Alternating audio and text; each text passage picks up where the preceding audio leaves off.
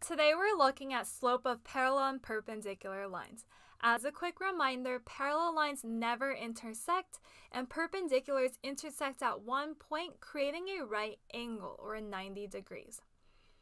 If we look at parallel lines, you'll notice that in this set of parallel lines here, their equations have the same slope. And that makes sense because parallel lines never intersect. They're always going at the same rate and they have the same steepness. So their slope will be the same. So if we look at the equation here, the slopes for these two lines are both 1. When we look at perpendicular lines, let's look at this set here, it does form a right angle, but their slopes here are opposite reciprocals. Opposite reciprocals mean that if we multiply their slopes together, we should get a product of negative 1. So we can take the slopes of the lines here, 1 half and negative 2 over 1, or just negative 2, and it does give us a product of negative 1. We're going to start with some practice now. The first set of practice, you're just going to identify if these are parallel, perpendicular, or other. You'll have about five seconds and then the answer will show up. If you need to, just pause the video while you think of the answer and then continue playing.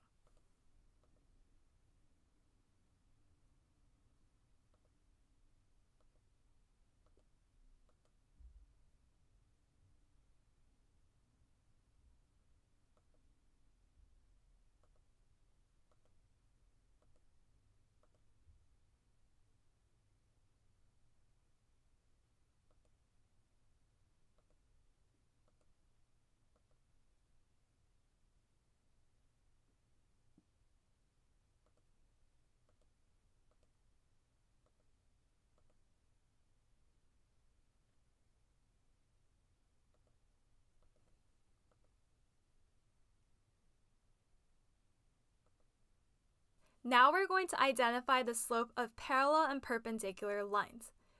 You'll have about 5 seconds to come up with the slopes of each. If you need to, pause the video before the answer appears so you can think about the answer first.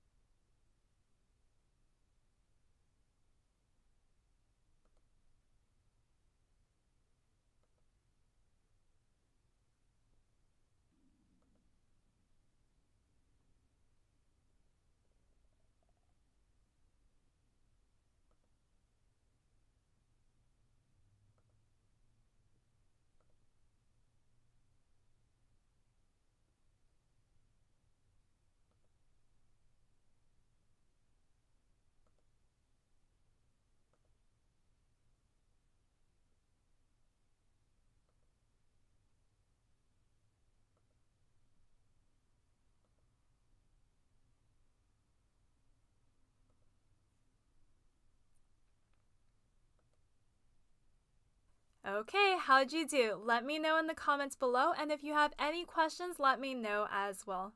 Bye!